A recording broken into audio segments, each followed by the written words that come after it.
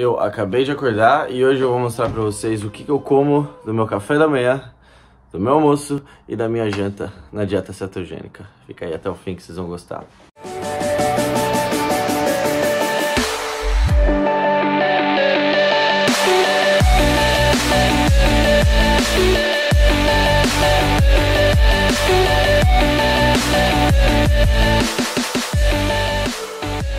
Bom, eu já dei aquela hora que eu acordei, foi mais ou menos umas seis e meia da manhã. Agora eu vou tomar meu café, primeiro café, e é só preto, café normal, não coloco absolutamente nada. E isso estimula um pouquinho o meu jejum, porque ontem eu parei de comer mais ou menos 5 a 6, talvez umas 7 horas da noite, dependendo do dia, mas normalmente 6 horas da tarde é onde eu paro, é a minha última refeição. E agora de manhã eu tomo café mais ou menos umas 8 horas da manhã. Vamos lá. O que eu comprei por dia foi brócolis, abóbora, comprei morango e comprei pimentão. Por que, que eu não como nenhum tipo de vegetal logo de manhã? Das 6 horas da tarde de ontem para as 10 da manhã agora, isso são 16 horas, certo?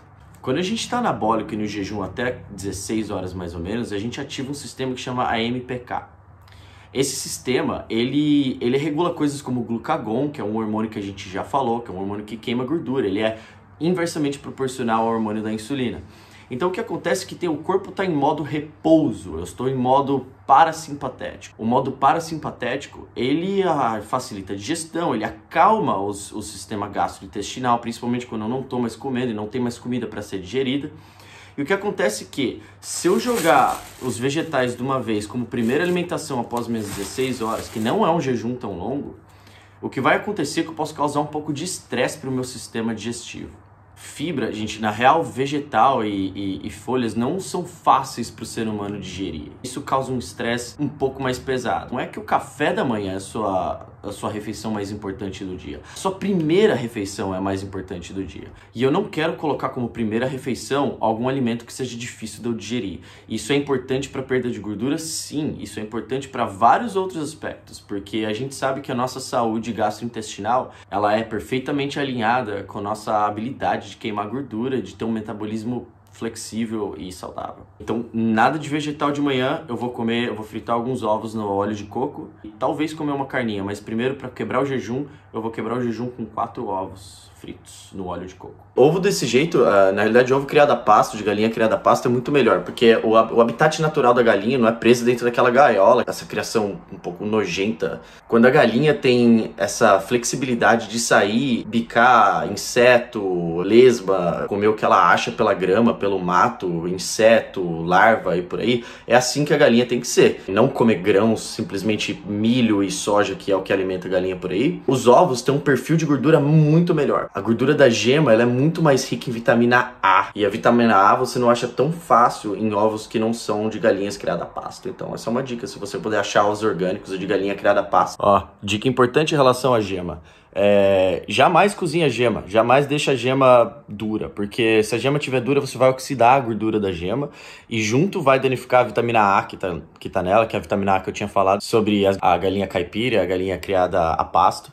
Então, se você cozinhar demais essa gema, você vai simplesmente perder todos os benefícios que você teria de ter comprado o ovo orgânico. Não cozinhe demais a sua gema. Quando a gente fala de óleo vegetal, eu falo sobre óleo de canola, óleo de soja, óleo de milho, esses, esses tipos de óleo normalmente comercializados e utilizados em restaurante. Porque eu já falei em outro vídeo sobre a cetogênica limpa e a cetogênica suja.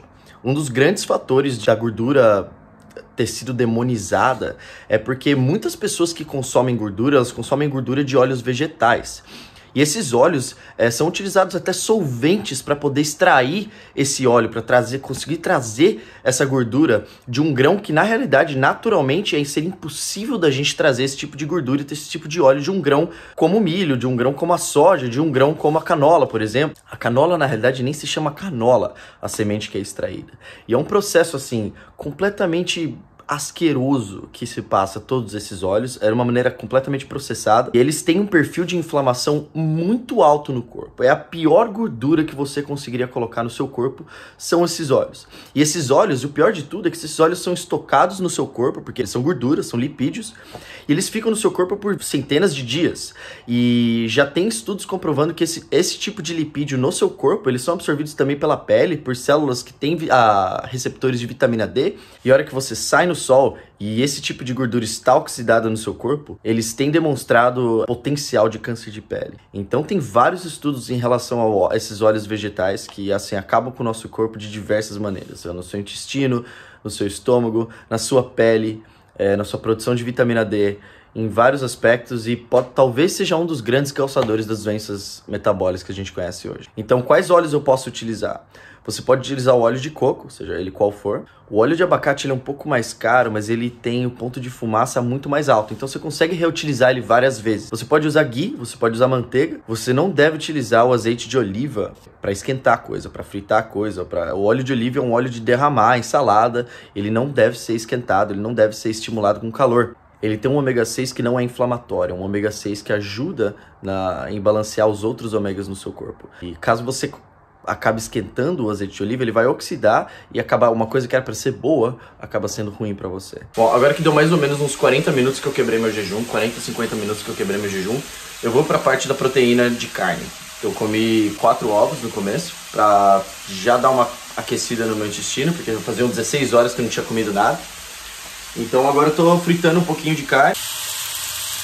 É um corte relativamente gordo, relativamente porção de gordura boa. É legal você comer carne alimentada a pasto, por questão da mesma questão do ovo da galinha que eu falei sobre ser orgânico ou não ser orgânico. A proporção de ômega 6 para ômega 3, ômega 6 é uma gordura inflamatória, ômega 3 é uma gordura não inflamatória e que promove diversos benefícios para o seu cérebro, para a sua cognição, é, sem falar tem alguns estudos que também falam em relação à, à síntese proteica, que ajuda você na construção de músculo.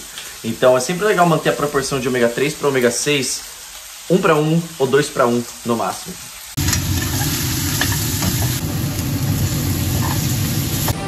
Ai, é meu foda. Agora são mais ou menos 10 da manhã eu vou fazer minha primeira refeição de proteína de carne. Eu acordei mais ou menos umas seis e meia. Agora eu vou aproveitar essa gordura animal maravilhosa. Mas um segredo.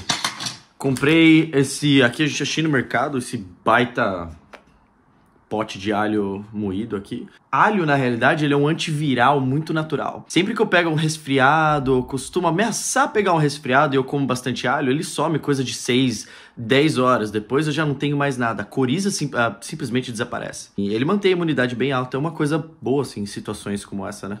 Bom, agora de tarde, a última refeição foi aquela carne que eu comi por volta das 11h30 da manhã. E o que eu faço nesse período das 11h30 da manhã, eu tomo essa mistura que eu faço aqui por alguns motivos. Eu fiz um post no Instagram e eu expliquei o porquê de cada ingrediente que eu coloco para ajudar na saciedade, ajudar na mobilização de gordura, ajudar na oxidação da gordura. Eu usei basicamente vinagre de maçã, essa mistura de gengibre e limão que eu fiz, que eu guardo na geladeira para ficar fácil, e sal.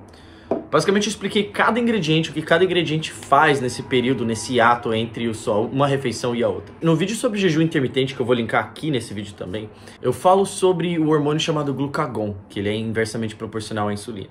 Esses snacks que a gente faz entre as refeições, ele atrapalha a ação do glucagon. E o glucagon é um dos maiores responsáveis para a oxidação de gordura. Entre essa refeição primeira e a segunda, o que eu prefiro fazer é tomar um chá verde ou simplesmente um café, mas eu preferencialmente eu tomo esse drink aqui, porque ele tem alguns, algumas propriedades bem interessantes que eu coloquei no Instagram, para você saber você vai ter que me seguir lá no Instagram, vou colocar aqui o endereço.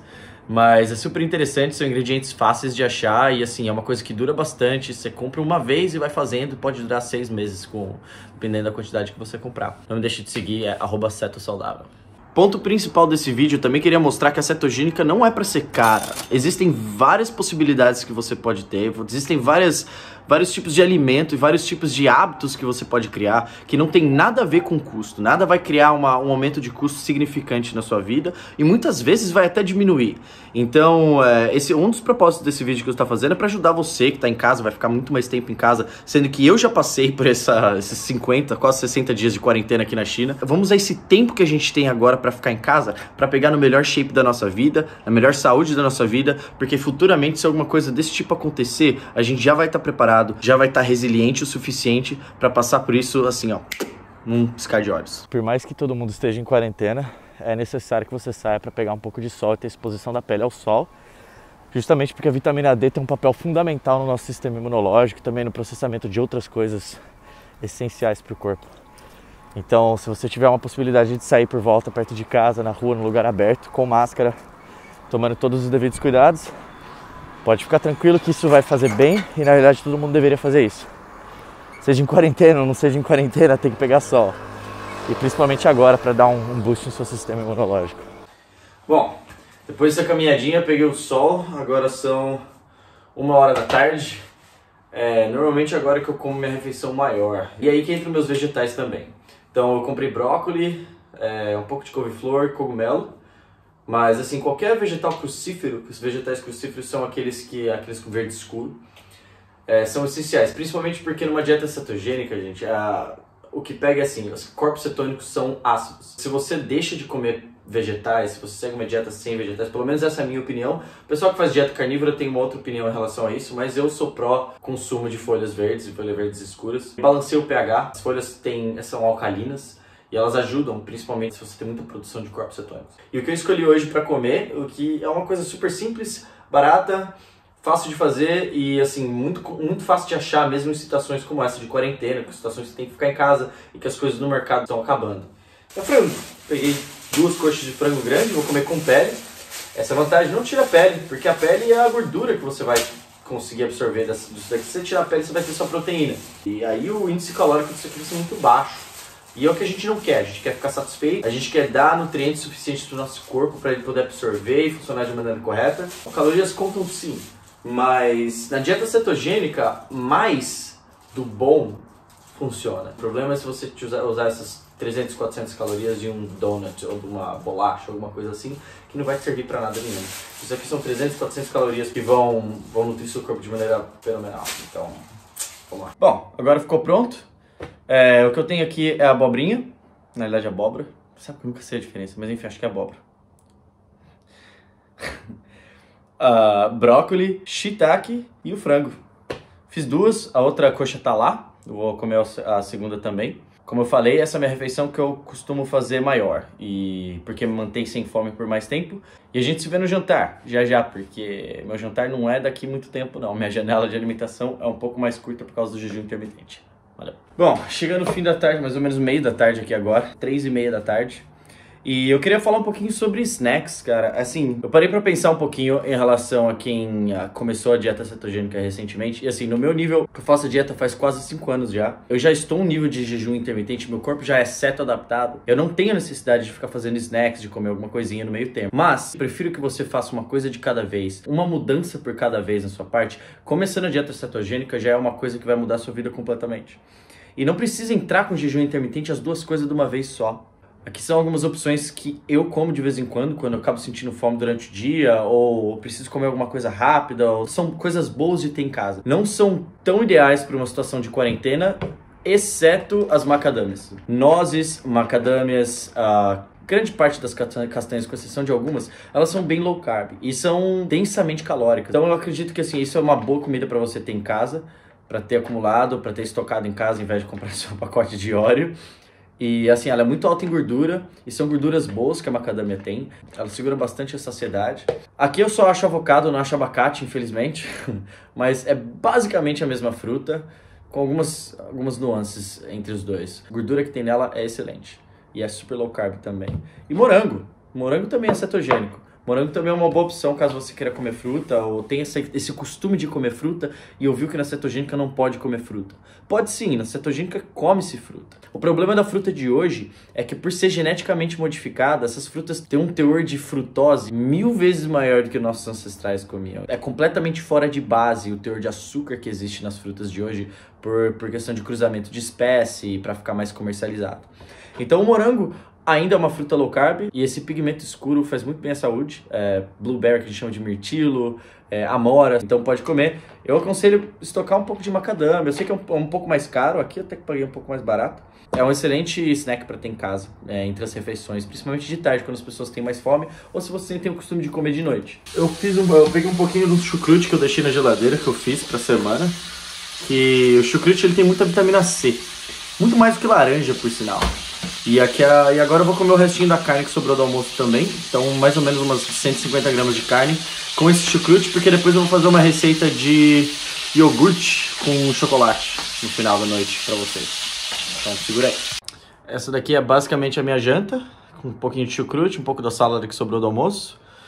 E da carne também que sobrou do almoço, fritei um pouquinho mais. E já já eu vou mostrar como é que faz aquela receita de iogurte grego com chocolate. Fica uma delícia. Ah, bom, para finalizar o dia, eu prometi a receita do que eu faço meu mousse de chocolate aqui com iogurte. Esse iogurte que eu acho é um iogurte grego que eu acho aqui. Ele tem 4,4 gramas de carboidrato cada 100.